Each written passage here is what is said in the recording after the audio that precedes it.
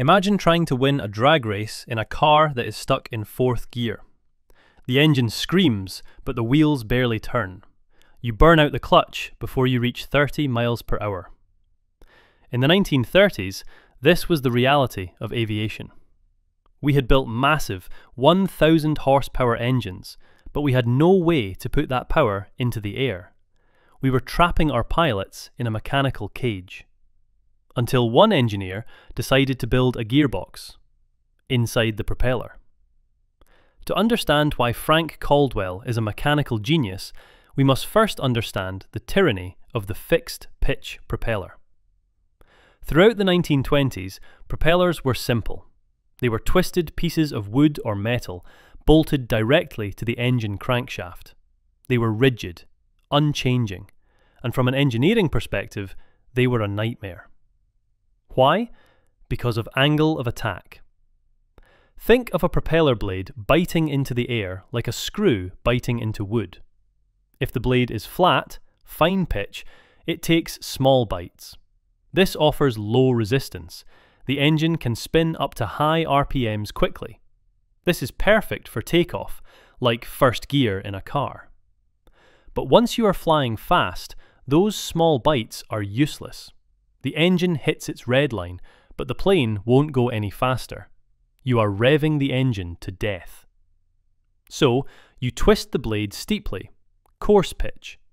Now it takes big dicks, it pushes a lot of air. This is perfect for cruising, like fifth gear. But if you try to take off in coarse pitch, the air resistance is so high the engine can't reach its power band. It stalls. You crash at the end of the runway. For decades, designers compromised. They built medium propellers. They were terrible at takeoff and terrible at top speed. They were mediocre at everything. By 1930, engines were getting bigger 500, 600, 800 horsepower. But the planes weren't getting much faster. The fixed propeller was wasting 40% of the engine's potential energy. It was creating drag instead of thrust. Enter Frank Caldwell, the chief engineer at Hamilton Standard. Caldwell was obsessed with efficiency. He knew the solution. The pilot needed to be able to change the angle of the blades while they were spinning.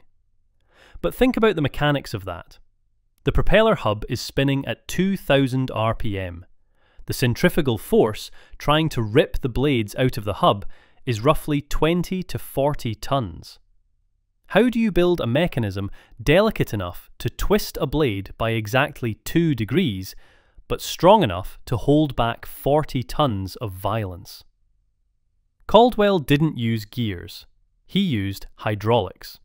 He designed a hub with a sliding piston inside it. He used the engine's own oil pressure. By pumping oil through the hollow centre of the crankshaft, he could push the piston forward. Connected to the piston were mechanical linkages, counterweights and cams, attached to the root of each blade. When the pilot pushed a lever, oil rushed in. The piston moved, the blades twisted. It was a hydromechanical marvel. But the industry was skeptical. They said it was too heavy, too complex. Another thing to break, they said. Then came the test the Boeing 247. This was the first modern airliner, all metal, retractable landing gear, two engines. It was designed to fly over the Rocky Mountains, but during testing, Boeing realized a horrifying truth. The plane was too heavy. With fixed pitch propellers, the engines couldn't generate enough RPM to lift the plane safely out of high altitude airports like Cheyenne, Wyoming. Boeing had spent millions, and they had built a turkey. They were about to scrap the project. Frank Caldwell showed up with his controllable pitch propellers. They bolted them on. The pilot set the lever to take off, fine pitch. He opened the throttles. The engines screamed to full RPM immediately. The blades bit the air with low resistance. The Boeing 247 leaped off the runway in half the distance. Once in the air, the pilot pulled the lever to cruise, coarse pitch. The oil pressure shifted, the blades twisted, the RPM dropped, but the speed increased. the plane cruised over the Rockies effortlessly. Caldwell saved Boeing, but he had done something much more dangerous. He had unlocked the cage. Suddenly, engine designers realized they could build massive, high compression monsters.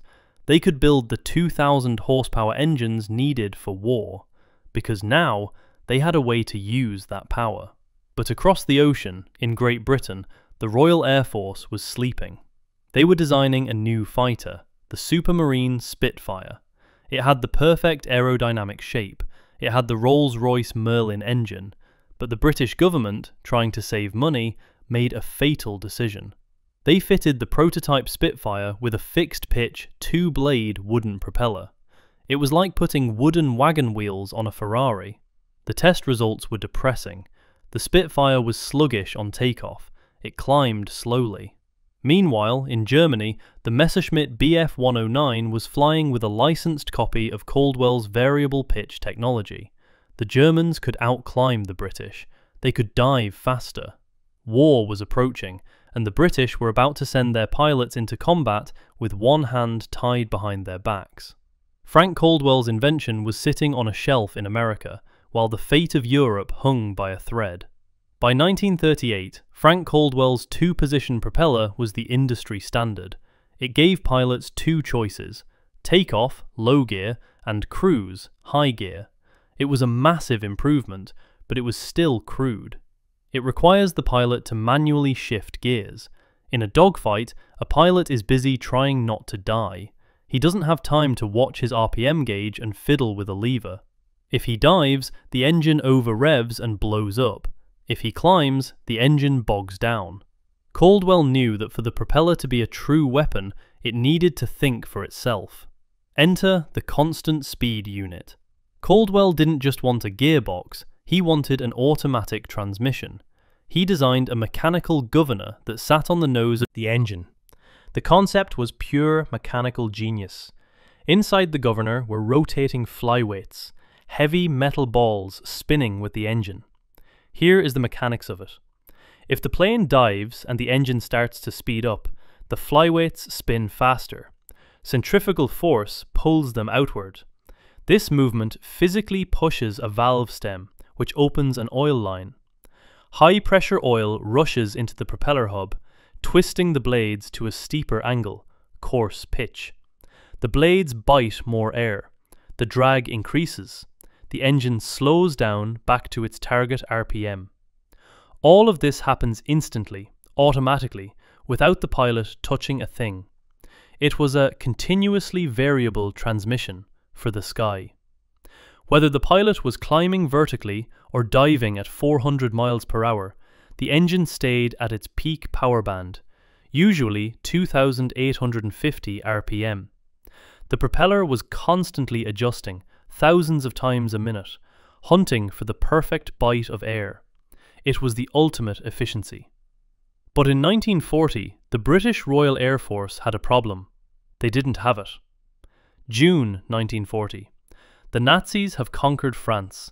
They are staring across the Channel at England. The Battle of Britain is about to begin. The RAF has the Spitfire Mark I, but many of them are still fitted with the older two position propellers, or worse, fixed pitch wooden ones. The pilots are terrified. They know that against the German Messerschmitt 109, which has a fully automatic constant speed propeller, they are sitting ducks. The German plane can climb faster. It can dive without blowing its engine. The Spitfire pilot has to throttle back in a dive to save his engine, letting the German get away. June 24th, 1940, weeks before the major attacks. De Havilland, who licensed Caldwell's patent, gets a desperate call from the Air Ministry. Convert them, all of them, now. It is one of the greatest engineering scrambles in history.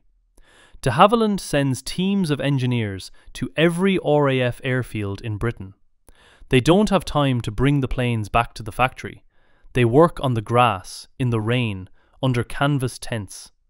They have to drill holes in the engine bulkheads to run the new oil lines. They have to bolt the Caldwell governors onto the Merlin engines. They are modifying the most sophisticated fighter plane on Earth with hand drills and spanners, often while air raid sirens are wailing. They work 24 hours a day. They sleep under the wings. In just 54 days, they converted over 1,000 Spitfires and Hurricanes to constant speed propellers. The result was instant. The constant speed Spitfire could climb 7,000 feet per minute. But the biggest change was the dogfight. Now, when a German pilot tried to dive away, the Spitfire pilot didn't have to throttle back. He could push the nose down, keep the throttle wide open, and the propeller would automatically coarsen to keep the engine safe. He could stick to the German's tail like glue. The German pilots were shocked. A week ago, the British planes were sluggish. Now, they were performing maneuvers that shouldn't have been possible. The 12 mile per hour increase in top speed was nice, but the ability to use 100% of the engine's power 100% of the time, that was the difference between life and death. Frank Caldwell's American invention, installed by British mechanics in a muddy field, had levelled the playing field. Caldwell had solved the takeoff. He had solved the dogfight. But as the war dragged on, bombers began to fly longer missions. They flew over oceans, and pilots discovered a new, terrifying problem with the propeller. If an engine died in midair, the propeller didn't just stop, he became a killer. It turned into a giant air brake that could flip a bomber upside down in seconds. By 1943, Frank Caldwell's constant speed propellers were on every Allied fighter. They were winning dogfights, but for the bomber crews flying B 17s and B 24s, the propeller had a dark side. When an engine was hit by flak and died, it didn't just stop. The rushing air hits the flat blades and forces them to spin. It's called windmilling, and it is terrifying. A windmilling propeller isn't producing thrust, it is a massive parasite. It acts like a giant air brake on one wing. The drag is so immense it can pull the plane into a deadly spin, flipping it upside down. The dead engine didn't just quit, it tried to kill the rest of the plane. Frank Caldwell knew that the only way to save the crew was to stop the windmill. But the air forces on the blades were massive, tons of pressure spinning the dead engine. Caldwell needed a way to turn the blades 90 degrees, edge on to the wind. He called it feathering. Think of it like a knife. If you slap water with the flat of a blade, it stops dead. If you slice it with the edge, it slips through effortlessly. Caldwell designed a panic button in the cockpit. When the pilot hit the feather button, an auxiliary electric pump screamed to life. It bypassed the normal governor. It pumped high pressure oil into the hub, forcing the piston past its normal limits. The blades twisted all the way to 90 degrees. They streamlined. The wind caught the edge, and the propeller simply stopped. The drag vanished. The effect was miraculous. A B 17 with two feathered engines could still fly. It could limp home across the English Channel. Without feathering, those planes would have spiraled into the ocean. Thousands of airmen returned home to their families solely because Frank Caldwell figured out how to make a propeller turn sideways. The war ended, the jet age began. Frank Whittle's jet engines didn't need propellers. They used internal turbines. For a moment, it looked like Caldwell's invention was obsolete. But the laws of physics are stubborn. Jets are fast, but they are thirsty. For short haul flights and cargo, you still need the efficiency of a propeller. So, engineers took the jet engine and bolted a Caldwell propeller to the front of it. The turboprop was born. Look at a modern C 130 Hercules. Look at the Dash 8 that flies you to regional airports. They use massive, multi bladed propellers. And inside the hub, you will find the great grandchildren of Frank Caldwell's mechanism governors, counterweights, oil pistons. The computer controls it now, but the mechanics are exactly the same. The gearbox of the sky never went away, it just got smarter. Frank Caldwell is rarely mentioned in history books. He didn't build the engine, like Rolls Royce. He didn't build the airframe, like Mitchell or Johnson. He built the link between them. He was the man who realized that power is nothing without control. Every time you see a plane take off, watch the propellers. Watch them bite the air. That is the invisible hand of Frank Caldwell, shifting gears so we can touch the clouds.